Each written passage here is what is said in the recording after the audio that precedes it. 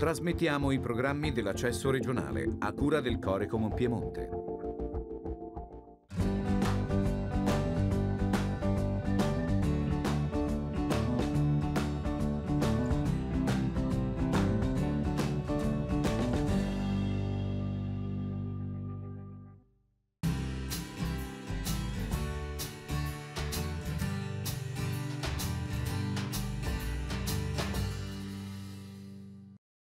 Bentrovati, sono il geometra Luisa Roccia, presidente del Collegio dei Geometri di Torino e Provincia e qui con me oggi c'è il segretario del collegio, il geometra Rodolfo Meaglia. Io oggi vi parlo di eh, formazione obbligatoria continua, al quale noi geometri iscritti all'albo e, che esercitiamo la libera professione siamo obbligati ad, a fare. In cosa consiste la formazione obbligatoria e la frequentazione da parte di noi iscritti all'albo a dei corsi, a dei convegni, a degli eventi che nel triennio eh, che quest'anno in particolare scade nel 2023 dobbiamo raggiungere 60 crediti. Se questi crediti non vengono raggiunti siamo eh, sottoposti a quella che è la convocazione in commissione disciplina. Pertanto questa formazione che ci porterà ad un livello eh, di formazione e informazione produrrà ovviamente un lavoro nei confronti del committente assolutamente eh, di qualità. È dal 2014 che siamo eh, sottoposti a questa formazione obbligatoria e in effetti ehm, le prestazioni professionali sono eh, qualitativamente migliorate. Eh, non tutti i colleghi ehm, come dire, apprezzano il fatto di dover frequentare dei corsi, ma abbiamo visto che i risultati sono assolutamente soddisfacenti poi per il cliente finale. Abbiamo una sede che ci permette di organizzare dei corsi in via Toselli 1, dove è la sede del collegio. A garanzia proprio di eh, essere iscritti ad un albo c'è la frequentazione di questi crediti obbligatori da, poter, da raggiungere. A questo punto eh, non solo crediti professionali ma anche crediti universitari possiamo fare e lascio la parola al segretario. Come quindi, eh, come stava anticipando il Presidente, eh, dal novembre del 2021 noi abbiamo, tramite una legge nazionale, la possibilità di accedere a un corso di laurea specifico per noi geometri liberi professionisti della durata di tre anni, eh, due eh, anni relativi alla frequentazione anche online delle, de, delle varie materie, l'ultimo dedicato al, al tirocinio tirocinio da svolgere presso studi professionali, quindi non solo di noi geometri, così come avviene già adesso peraltro, ma anche nei confronti dei, dei professionisti laureati, quindi ingegneri piuttosto che architetti. Eh, questo, tramite questo percorso noi possiamo ottenere una laurea professionalizzante, così come è stata definita eh, per legge, tramite la quale noi possiamo operare eh, sia sul nostro territorio nazionale, ma possiamo ambire anche ad avere delle attività eh, al di fuori eh, del territorio italiano e quindi poterci dedicare nell'eventualità anche a prassi lavorative eh, da svolgere eh, negli stati confinanti. Quindi questo è sicuramente un passo in avanti che deve essere anche un motivo in più, come stavamo dicendo, per eh, condividere con le famiglie e con i loro ragazzi la possibilità di ottenere un titolo di studio eh, performante, professionalizzante, assolutamente votato alla possibilità di operare e di lavorare in vari ambiti, sia appunto nazionali che, che internazionali. I crediti formativi sono, eh, universitari sono diversi, eh, praticamente un credito universitario eh, della nostra attività professionale vale quanto 12 crediti eh, universitari, quindi anche in questo caso c'è evidentemente la possibilità di fare un percorso inferiore per l'ottenimento.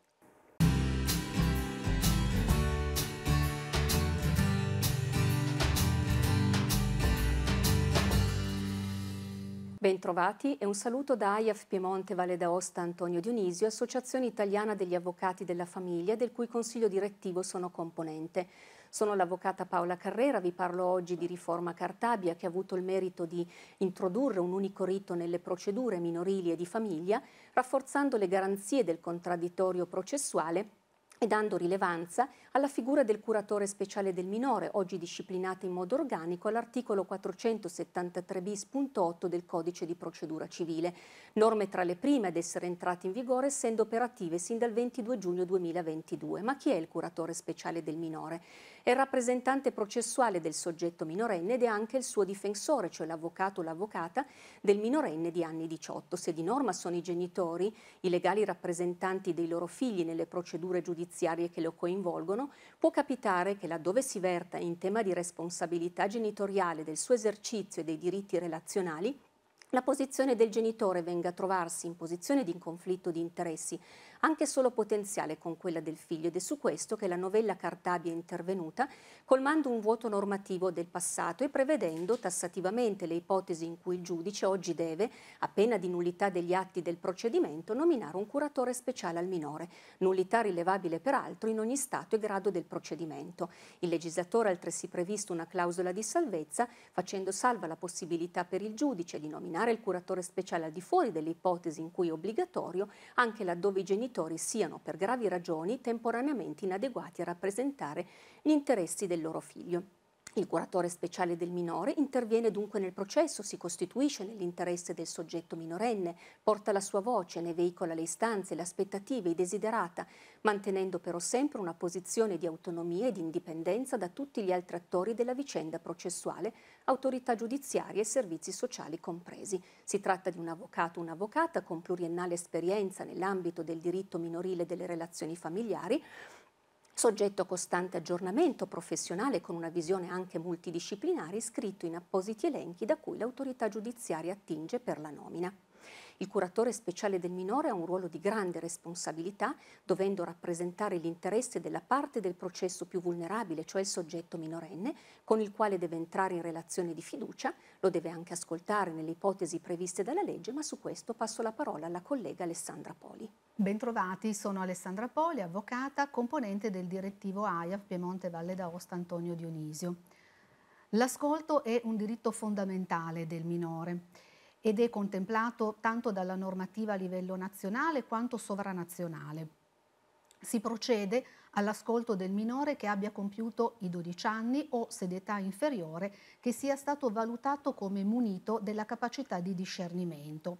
Procede al suo ascolto naturalmente non solo il curatore speciale, che è anche il suo difensore tecnico, ma anche l'autorità giudiziaria in tutti i procedimenti che lo riguardano. È uno strumento molto importante, potente, attraverso il quale il soggetto di minore età può estrinsecare le sue prerogative di vera e propria parte in senso tecnico e eh, far estrinsecare altresì la sua posizione, il suo pensiero anche sui fatti di causa, portando di fatto all'attenzione del giudice anche il suo mondo interiore.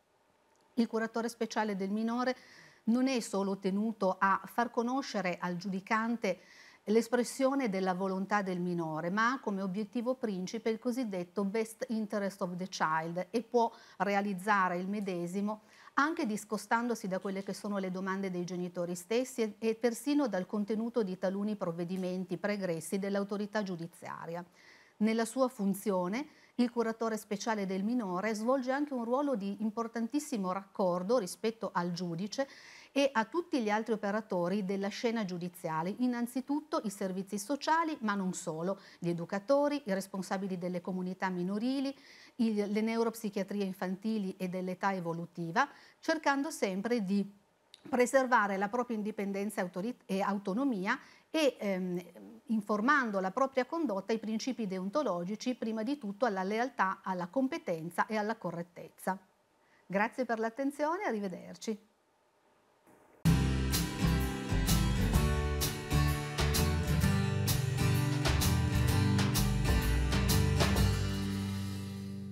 Buongiorno, sono Margherita Settimo, LAV Lega Antivivisezione, sede di Torino ed è con me Marco Francone, il responsabile della sede. Siamo qui per un intervento dal titolo molto interessante che perché le persone hanno paura degli animali selvatici. Beh, come prima risposta io direi perché non li conoscono bene, se ne sente parlare, se ne sente parlare male, eh, si leggono di esperienze che sono molto molto strumentalizzate e anche un po' senza, sensazionalizzate, ma l'importante è cercare di capire e di conoscerli. Quando è che l'uomo può arrivare in situazioni rischiose, può mettersi in situazioni rischiose? Quando appunto non li conosce, quando sta nei suoi territori, nei suoi ambienti, perché il mondo comunque è di tutti noi e quindi dobbiamo imparare a coesistere e a convivere con loro senza disturbarli e quindi senza eh, andare a infilarci in situazioni che possono assolutamente essere rischiose per la nostra persona e rischiose per l'animale stesso. Per esempio, inseguire, come anche già successo e già riportato, una cucciola con degli orsi, eh, una, una mamma cinghiale con i suoi piccoli. E come dobbiamo educarci a, a, comportarci come noi dobbiamo portare rispetto verso di loro. Quindi ci sono dei comportamenti precisi che dobbiamo studiare e quindi non c'è nessuna paura da avere, ma esclusivamente bisogna sapere. Sapere cosa fare e sapere di loro. E sapere di loro è molto interessante perché i lupi, ad esempio, hanno delle gerarchie sociali e degli equilibri familiari di forze, di, di affetti da cui dovremmo imparare. Ma ora lascio la parola a Marco che vi racconterà ancora più nel dettaglio tutto ciò che potrete sapere e che vi servirà. Non bisogna generare paura nei confronti dei selvatici, eh, ma che siano cinghiali. Se si avvicina alle abitazioni magari è perché abbiamo lasciato del rifiuto organico abbandonato vicino alle nostre abitazioni, però basta fare un po' di rumore e spaventarli eh, e, e, non, non creano problemi. E se ci avviciniamo troppo a una madre con i suoi cuccioli, evidentemente il problema è che eh, cerca di difenderli, però se noi facciamo rumore eh, se ne va. Ecco. E così eh, per quanto riguarda i lupi, i lupi eh, non è che si avvicinano a noi, hanno paura dell'uomo, eh, semmai si avvicinano eh, se ci sono dei cani, se, ma i cani normalmente difendono eh, il territorio eh, dai lupi. Non bisogna creare paura nei confronti dei selvatici perché i selvatici sono importanti eh, ne, negli ambienti naturali e dobbiamo imparare a convivere con loro eh, per poter garantire eh, un, una vita serena negli ambienti naturali. Ehm, ci sono dei modi per allontanarli se proprio è necessario per proteggere le, le nostre abitazioni o anche le coltivazioni da animali selvatici senza eh, danneggiarli eh, ma tenendoli solo lontani. E possiamo poi eh, se avete la necessità di, di, saperne di più, ovviamente noi abbiamo tutta una serie di materiali eh, per eh, i cittadini ma anche per le scolaresche che potete venirci a eh, chiedere, è assolutamente gratuito, che abbiamo realizzato in, anche in collaborazione col Ministero de, dell'Istruzione quindi eh, eh, cerchiamo di, di, diffondere una reale convivenza nei confronti degli animali selvatici. Eh, praticamente eh, l'importante è non, non, pensare che siano eh, nostri nemici. Eh, sono degli animali che devono poter avere la loro vita e noi dobbiamo poter andare nei boschi, nei prati eh, e non abbiamo paura di loro, semmai abbiamo più paura di, di esseri umani eh, con il fucile piuttosto che degli animali selvatici. Allora arrivederci, vi salutiamo e grazie di tutto, a presto, grazie. vi aspettiamo alla Lab.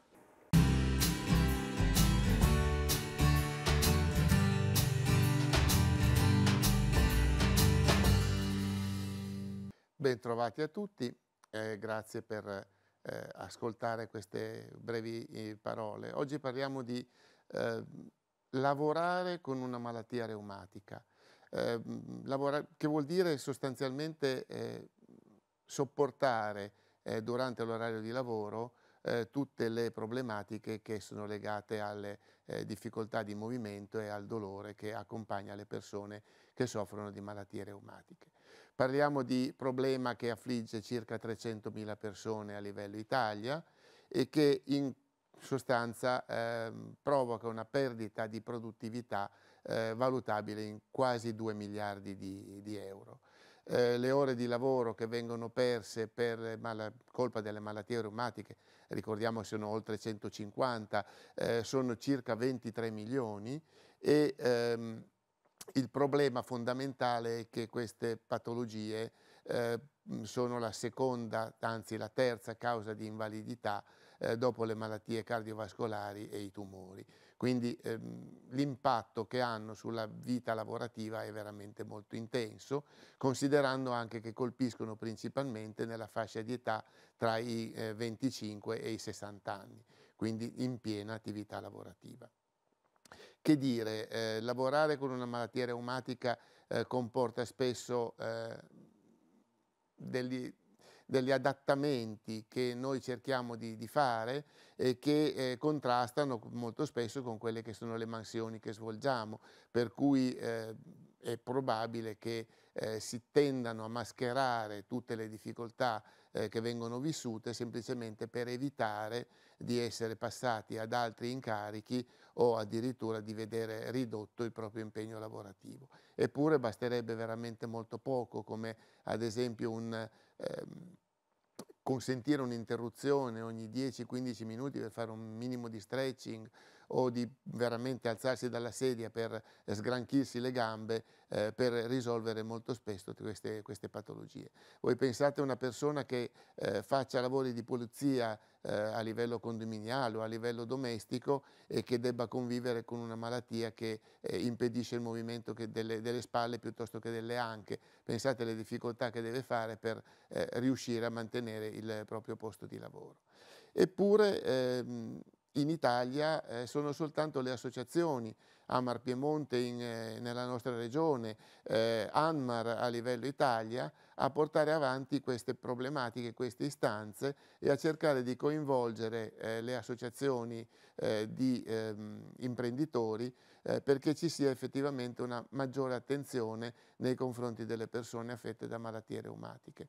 Saremmo veramente molto lieti di poter eh, utilizzare i dati che ci vengono forniti da IMSS e INAIL, perché effettivamente loro sono molto disponibili a fornire, a fornire questi dati, eh, per fare in modo che magari la nostra regione possa essere eh, un, uh, un, esperimento, un primo, eh, la, la prima regione in Italia a condurre una politica eh, di estrema attenzione nei confronti di queste patologie, seguendo un pochettino quelle che sono le direttive europee e quindi consentendo di ehm, fare dei, dei progetti eh, dedicati all'inserimento lavorativo eh, delle persone con malattie reumatiche e al mantenimento dell'occupazione eh, di chi già un lavoro ce l'ha.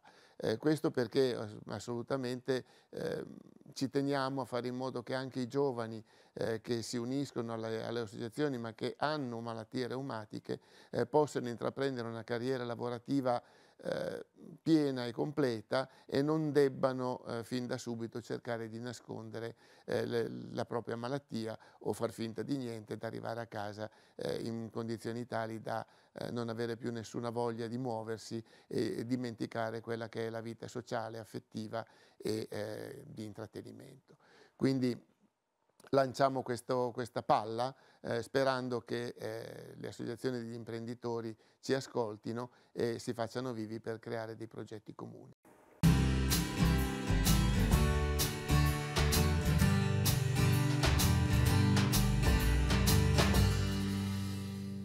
Bentrovati, mi chiamo Gloria Pace, sono la Presidente dell'Associazione Protezione Diritti e Libertà Privacy APS. Quest'anno noi proponiamo per la seconda edizione il progetto Ambasciatori di Privacy e Sicurezza Informatica, quindi un progetto, un percorso formativo gratuito dedicato alla scuola. E quest'anno questo progetto formativo che ha ottenuto un grande successo si è eh, ampliato insieme al progetto che si chiama dell'RPD dello studente.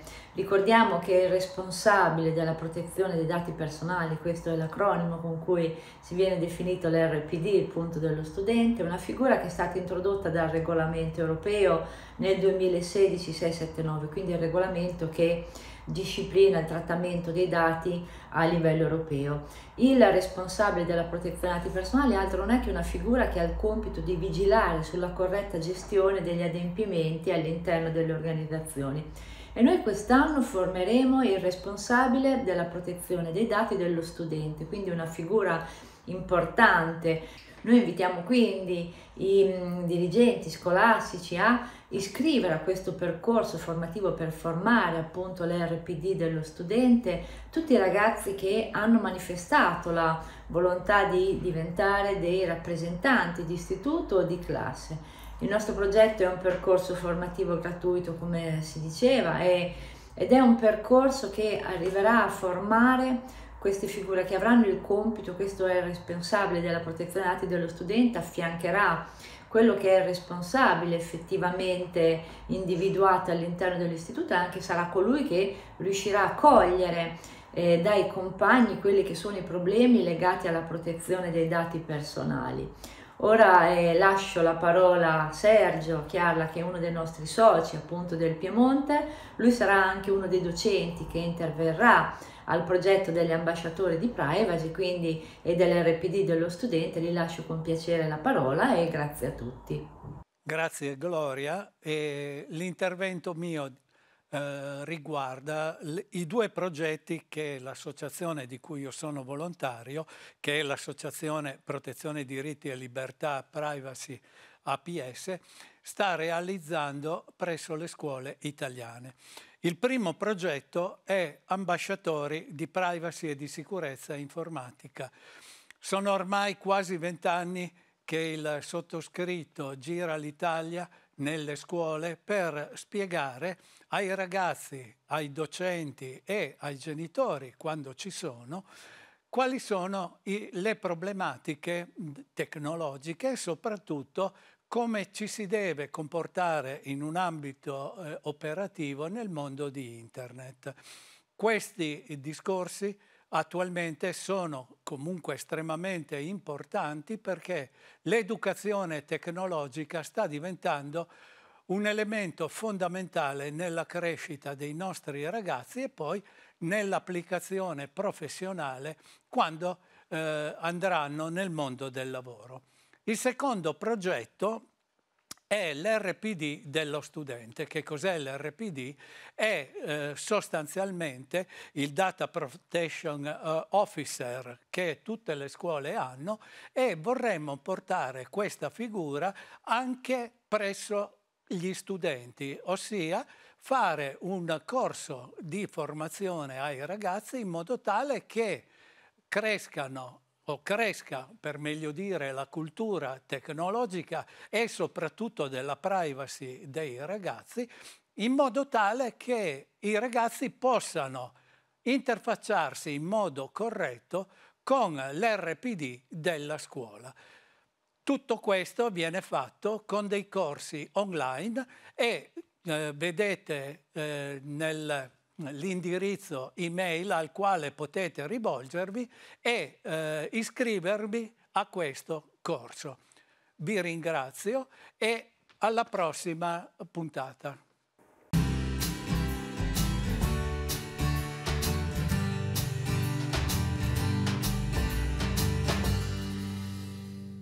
Bentrovati, siamo con Roberto Sardo, presidente regionale Piemonte dell'Associazione Nazionale fra Lavoratori Mutilati ed Invalidi del Lavoro, ANMIL come conosciuta in tutta Italia, per parlare dell'attività che l'associazione svolge da ormai 80 anni per la tutela delle vittime del lavoro.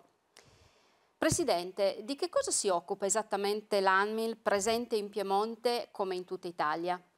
Allora, salve. Allora, l'ANMIL è nata il 19 settembre del 1943 per aiutare le vittime eh, del lavoro ed avere ad avere una più adeguata assistenza da parte dell'INAIL e il giusto riconoscimento dei danni eh, riportati a causa di un infortunio sul lavoro. L'associazione ad oggi raccoglie circa 270.000 iscritti tra invalidi del lavoro, lavoratori che hanno contratto una malattia professionale oppure, oppure eh, familiari di caduti sul lavoro. Offriamo assistenza attraverso le nostre sedi associative che sono presenti in tutta Italia, in tutte le province, in tutte le regioni, quindi compreso anche il Piemonte. Ma in questi anni il mondo del lavoro è molto cambiato e la legislazione in materia di risarcimenti si è molto evoluta. In ogni, ogni, caso inoltre è da considerarsi unico perché i problemi possono essere mh, dei più diversi, più disparati. Ad esempio c'è chi riporta mutilazioni per cui necessita di protesi o ausili, oppure chi eh, a causa di una malattia professionale eh, ha bisogno di cure che evolvono appunto con l'aggravarsi della malattia col passare del tempo. E noi, e noi tuteliamo soprattutto queste persone perché non vogliamo che si sentano sole ed abbandonate. Infatti il dramma delle morti sul lavoro non accenna ad abbandonare le pagine delle testate nazionali e locali. Il rischio forse già avverato sì è che queste notizie diventino abitudinarie per le nostre coscienze. Su cosa è importante, Presidente, puntare per dare un'ancor più forza al messaggio di prevenzione? Ma uno dei principali punti di debolezza della legge 81 del 2008, che ha completamente rivisto le norme sulla prevenzione, eh, prevede appunto una formazione burocratica e molto nozionistica che si è rivelata il più delle volte insufficiente se addirittura non inefficace. Per questo riteniamo oggi più che mai che sia importante proseguire l'impegno che ormai portiamo avanti da 25 anni eh, con iniziative che sono volte a diffondere la sicurezza eh, del, sul lavoro nelle aziende e nelle scuole di ogni ordine e di ogni grado. Eh, quindi per questo ci stiamo adoperando un po' con tutte le istituzioni affinché il ruolo della testimonianza venga riconosciuto in quanto capace comunque eh, di coinvolgere eh, emozionalmente sia gli studenti che i lavoratori. Quindi un, ad acquisire una nuova consapevolezza sui rischi che si corrono nei posti di lavoro. E come si possono organizzare le giornate informative con i vostri testimonial formatori della sicurezza?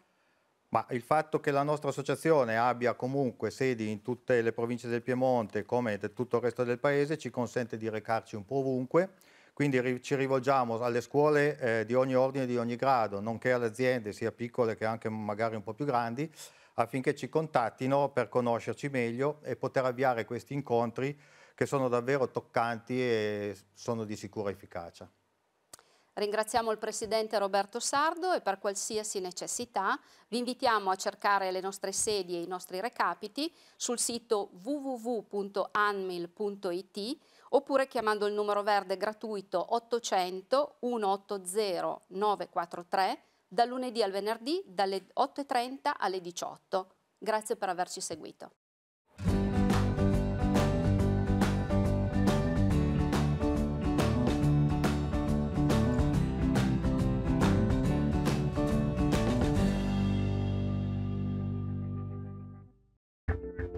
I programmi di Rai 3 riprendono ora a diffusione nazionale. Buona visione.